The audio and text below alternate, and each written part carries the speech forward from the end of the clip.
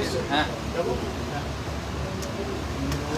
আপনারা দেখেছেন আজকে আমরা ইতিমধ্যেই আমাদের পার্টির সোশ্যাল মিডিয়া হ্যান্ডেল থেকে একটি খবর সবার সাথে ইতিমধ্যেই শেয়ার করেছি। আমরা অত্যন্ত আনন্দিত এবং খুশি। যে বাইরন আজকে তৃণমূল কংগ্রেসে যোগ দিয়েছে। এই বছর মার্চ মাসে, দ্বিতীয় মার্চ সাগর থেকে উপনির্বাচনের ফল ঘোষণা হয়। সেখানে সেই উপনির্বাচনে মানুষের আশীর্বাদ নিয়ে সাগর থেকে আপামর মহাভাই বলেছেন, আশীর্বাদ নিয়ে বাইরন নির্বাচিত হয়েছে। এবং পরবর্তীকালে তিনি নির্বাচিত হয়ে বিধানসভায় শপথ নিয়ে বিধায়ক হিসেবে তার পথ চলার কাজ শুরু করেছিলেন। এবং বিধানসভায় জেতার পর তার সাথে আমার যোগাযোগ হয়েছিল। আমি যেহেতু জনসংযোগ যাত্রায় রয়েছি তার সাথে একাধিকবার এই জনসংযোগ যাত্রায় বিভিন্ন ক্যাম্পেও আমার কথা হয়েছে তিনি আজকে মুর্শিদাবাদ থেকে এসে পশ্চিম মেদিনীপুরে এই ঘাটালের ক্যাম্পে মমতা বন্দ্যোপাধ্যায়ের উন্নয়নমূলক যে কর্মযজ্ঞ তাকে সামনে রেখে এবং তৃণমূল কংগ্রেসের মতাদর্শকে সামনে রেখে তৃণমূলের লড়াই, সংগ্রাম এবং সর্বোপরি মানুষের জন্য যে কাজ করার মানসিকতা, জাতি দলমত নির্বিশেষে। এবং বিজেপির বিরুদ্ধে যাতে আগামী দিন তৃণমূলের লড়াইটা সর্বাত্মক হয় এবং বাংলার লড়াইটা সর্বাত্মক হয়, সেই কারণে আজকে তৃণমূল কংগ্রেসে যোগদান করলে আমি বাইরঙ্গের হাতে পতাকা তুলে দিয়েছি এবং তৃণমূল পরিবারে তাকে স্বাগত জানিয়েছি আমি আশা করি আগামী দিন মুর্শিদাবাদে ফিরে গিয়ে সাগর সাগরদিঘির মাটিতে প্রত্যেকটা মানুষের জন্য জাতি জনমত নির্বিশেষে কাজ করবে এবং বিজেপির বিরুদ্ধে জোর গলায় মাথা উঁচু করে তিনি লড়াইটা দিল্লির কল্পিবাহকতার বিরুদ্ধে এবং বাংলার প্রতি বঞ্চনার বিরুদ্ধে মুর্শিদাবাদের প্রত্যেকটা জায়গায় গিয়ে তৃণমূল কংগ্রেসের সৈনিক হিসেবে আগামী দিন কাজ করবে। আজকে আপনি পূর্ব যাচ্ছেন সফর শুরু হচ্ছে এই সাগর নির্বাচনের পরে ঘটেছিল তার আগে আপনি কি একটা বড় ধাক্কা দিলেন? আমি ধাক্কা দেওয়ার কেউ না। রামধনু জোটের নির্যাস হচ্ছে শূন্য। রামধনু জোট দু হাজার একুশ সালের নির্বাচনে কি ফল করেছে? ISF, CPM, Congress. লড়াইটা ছিল তৃণমূল বনাম বিজেপি। আর সেখানে কংগ্রেসের নেতারা আইএসএফ বা সিপিএম এর সাথে জোট করে কার সুবিধা করে দিয়েছে? তো মানুষ দেখেছে। আমাদের নেত্রী দশ দিন আগে বলেছেন যে আমরা কংগ্রেসকে সমর্থন করতে পারি, আমাদের কোনো অসুবিধা নেই। কিন্তু আমাদের রাজ্যে যেখানে আমরা বিজেপির বিরুদ্ধে সর্বশক্তি দিয়ে লড়ছি সেখানে অধীর চৌধুরী সিপিএম এর হাত শক্তিশালী করছে আর বিজেপির হাত শক্তিশালী করছে। আখেরে লাভ কার হচ্ছে? লাভ তো বিজেপির হচ্ছে। আমাদের সভানেত্রী বলার পরও কংগ্রেসের প্রদেশ সভাপতি, প্রদেশ কংগ্রেসের সভাপতি, তিনি বলছেন, না, আমরা কংগ্রেসের কংগ্রেসের সৈনিক হিসেবে তৃণমূলের বিরুদ্ধেই লড়ব। তার মানে আপনাদের লড়াই বিজেপির বিরুদ্ধে নয়, অন্ততপক্ষে বাংলায় নয়। আর বাংলায় যদি আপনারা বিজেপির হাত শক্তিশালী করেন তাহলে কেন্দ্র সরকারের হাতও আগামী দিন দু হাজার চব্বিশের লড়াই আপনারা শক্তিশালী করছেন।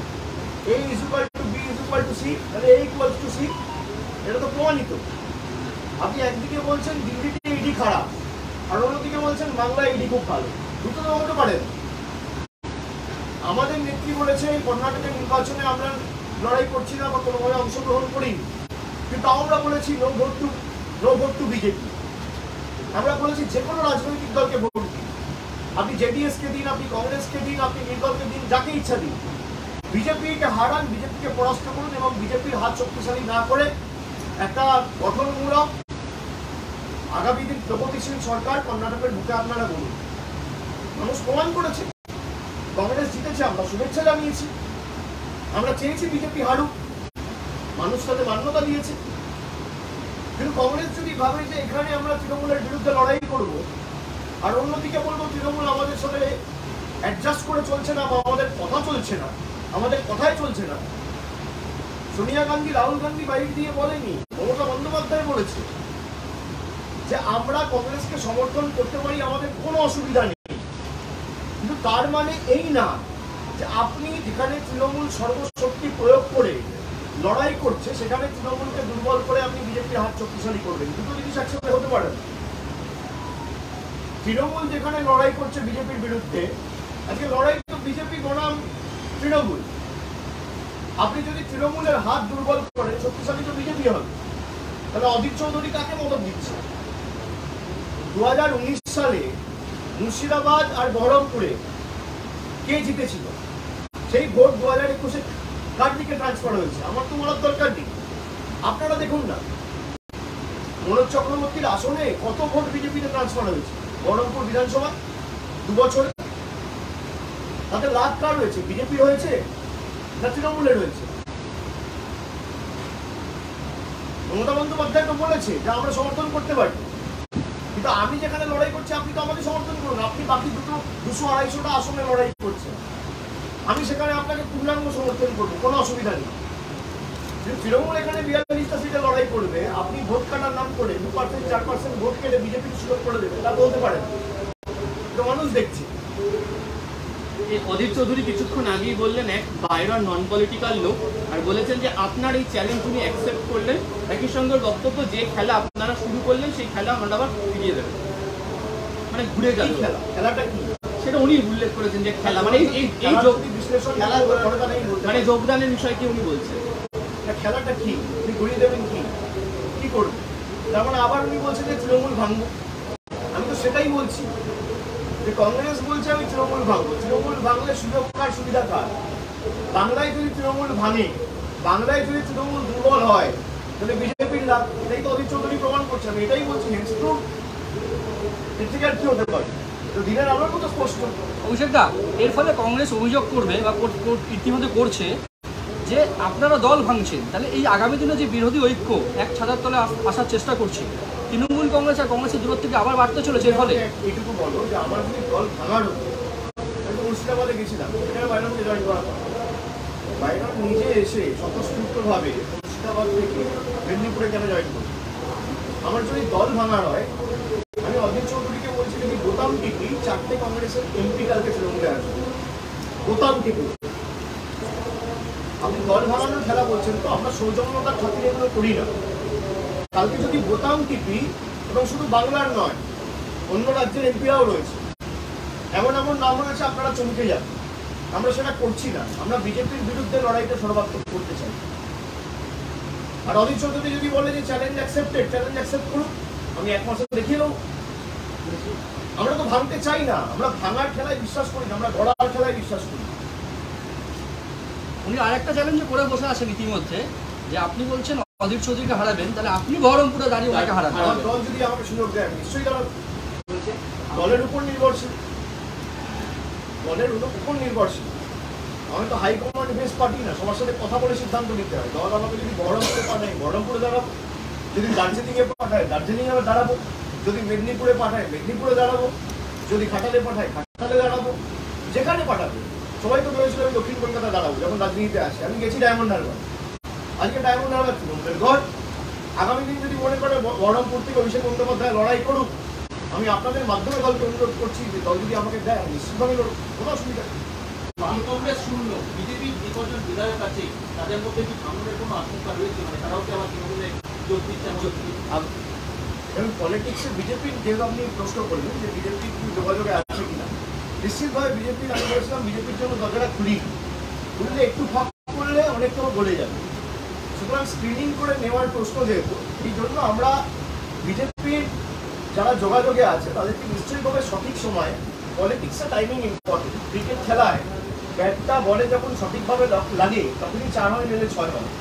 তো টাইমিং যখন সঠিক টাইম আসবে, তখন নিশ্চিতভাবে দরজা খোলা হবে এবং কতজন ঢুকবে কতজন আসবে, সেটা আপনারা দেখতে পাবেন।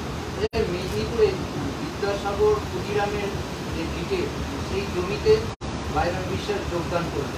মানে এটা কি একটা তাৎপর্যপূর্ণ বিষয়। কোনো ওনাকে এখানে এই জায়গায় এলেন এই জায়গাটা এদের লড়াইয়ের ভূমি।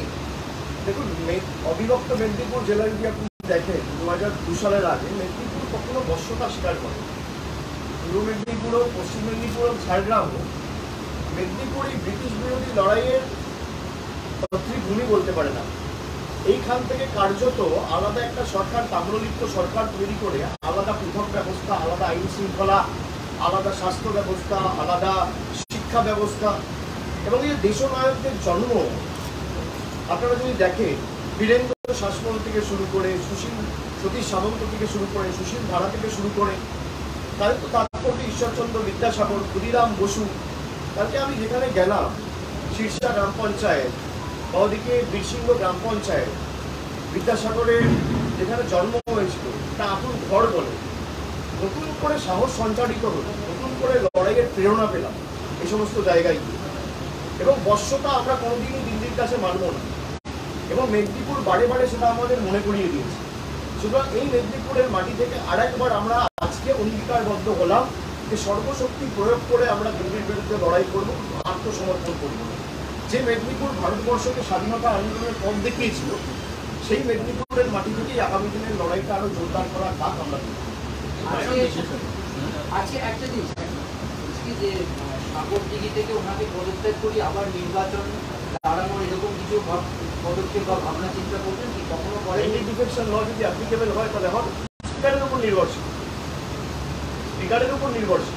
একটাই তো সেটা। এখানে তো অ্যান্টি ডিফেকশন ল অ্যাপ্লিকেবলই বাইরের বিষয়ে আপনাকে প্রশ্ন যে অজিত চৌধুরী বলছেন যে আপনাকে থ্রেট দিয়ে তৃণমূলে যোগদান করানো হয়েছে এটা কি এত সেই ঘটনায় আর একটা বলেছেন যে আরও সৎ লোককে আগামী দিনে নিয়ে আসব। আর আপনাকে ঘুরি অসৎ বললেন। বিশ্বাসঘাতক বলছেন বিশ্বাসঘাতক বলেছেন বলেছে আরও সৎ লোককে নিয়ে আসব। দেখুন আমি যে জয়ী হয়েছি এর পিছনে কংগ্রেসের কোনো অবদান ছিল না।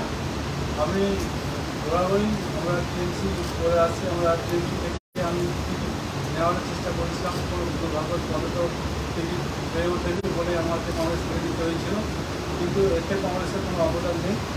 আর যদি অবদান থাকতো দু হাজার একুশ সালে কোনো একটা সিটও আমি জিততে পারিনি। যদি আমাকে মানে বিশ্বাসঘাতকতা করেছি আমি যদি এই ধরনের কথা বলে থাকি, তাহলে এটা ওনার পার্সোনাল ব্যক্তিত্ব বলে এটা জনগণের জবাবটা ভালো দিতে পারবে।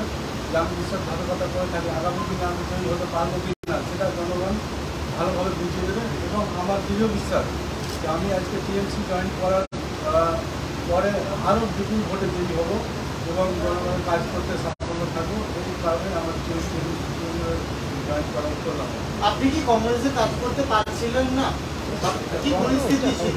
কংগ্রেসের কাজ করতে পারছিলাম না এটা তো বাস্তব ঘটনা। কোনো কোনো দিক থেকে কোনো রকম কাজ করা যাচ্ছিল না। কারণ বিজেপিকে উঠে দাঁড়াতে হলে একমাত্র দল আমাদের এখানে তৃণমূল আহ, রয়েছে তৃণমূল ছাড়া কোনো আমি প্ল্যাটফর্ম সুযোগ পেলাম না কিন্তু কংগ্রেসের থেকে কোনো কিছুই আমি এখন পর্যন্ত করে উঠতে কোনো পারিনি।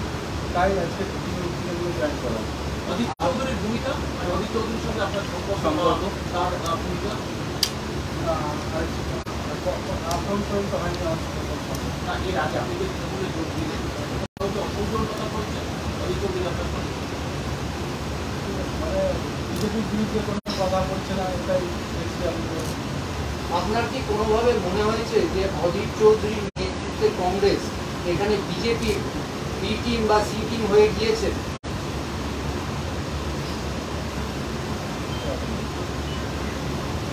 আপনার কি মনে হয় যে অধীর চৌধুরী বিজেপির বিরুদ্ধে লড়াই করছে না? হ্যাঁ। আমার মনে হচ্ছে যে লড়াই করছে না। ব্যাপারে কোনো রকম কোনো মন্তব্য করেন না উনি যখন সব দিয়েছে ব্যাপারে মন্তব্য করেছে এর আগে কি আপনি অজিত চৌধুরীর সাথে এগুলো নিয়ে কোনো কথা বলেছিলেন? যে যে আপনার যে দাবিগুলো যে বিজেপির বিরুদ্ধে কথা বলছেন না বা যে স্ট্যান্ড পয়েন্ট সেগুলো কি অজিত চৌধুরীর সাথে কথা বলেছিলেন আপনি কখনো? উনি সিনিয়র লিডার যতটা পেরেছি বলেছেন না বেশি বলা যায় না। তো যতটা পেরেছি আমার মতো বলেছি। আপনি ভোটের আগে উনি ভোটের আগে আমার সাথে কথা হচ্ছিল উনি বললেন যে ভোটের আগে আমি তৃণমূলের সাথে একাধিকবার যোগাযোগ করার চেষ্টা করেছি। দুর্ভাগ্যবশত কোনো কারণের সাথে স্থাপন হয়নি। আর ওনার পরিবার যদি দেখেন বরাবরই তৃণমূল ওরিয়েন্টেড ফ্যামিলি এবং ওনার বাবা অত্যন্ত একজন বড় সমাজসেবক। এলাকায় তার অত্যন্ত খ্যাতি বা সুনাম রয়েছে। এবং পরিবারটাই পুরো তৃণমূলের পরিবার। দু চারজনের মাধ্যমে উনি যোগাযোগ করার চেষ্টা করেছিলেন দুর্ভাগ্যবশত সেটা হয়ে ওঠে। এবং উনি মনস্থিরই করেছিলেন যে যেটার পর আমি তৃণমূলে যাব। যেটার পর থেকে আমার সাথে যখন কথা হয়, আমি বাইরনকে বলি যে দেখা হচ্ছে কলকাতা এখন নেই তো আমি এখানে আছি, এই জায়গায় আছি। আমি জায়গা লোকেশনটা বললাম না কেন, আজকের ক্যাম্প শুধু না, ও একাধিকবার এর আগেও এসে আমার সাথে যোগাযোগ করেছে। তারপর আমি তাকে বললাম যে, তুমি শারীরিক একটু দুর্বলতা ছিল, আমি বললাম তুমি সুস্থ হয়ে ওঠো, তারপর তুমি এসো। তারপর আমরা কথা বলে আগামী দিনে কীভাবে কী কাজ করা যায়, তার রাস্তা এবং আগামী দিন চলার দিশা ঠিক করব। তো গতকাল রাত্রে আমার সাথে ওর কথা হয়, আমার কালকে রাত্রে বলে, আমি বললাম একদম চলে এসো, আমরা বসে কথা বলে একদম একসাথে ঐক্যবদ্ধ হয়ে বিজেপির বিরুদ্ধে যাতে লড়াইটা সার্থক, সর্বাত্মক হয়। এবং যেভাবে এরা লাঞ্ছনা, বঞ্চনা, বাংলার প্রতি করছে, এবং আলটিমেটলি একমাত্র লড়াই করছে তৃণমূল কংগ্রেস, সেটা উপলব্ধি করেছে বলেই তৃণমূলে আছে। ঠিক আছে? Thank you